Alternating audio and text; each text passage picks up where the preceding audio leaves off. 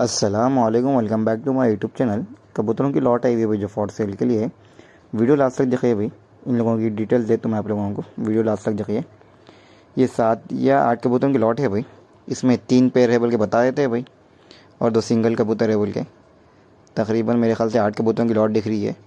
और इन लोगों की प्राइस की बात करें तो भाई थ्री हंड्रेड ईच वन का प्राइस बता रहे भाई।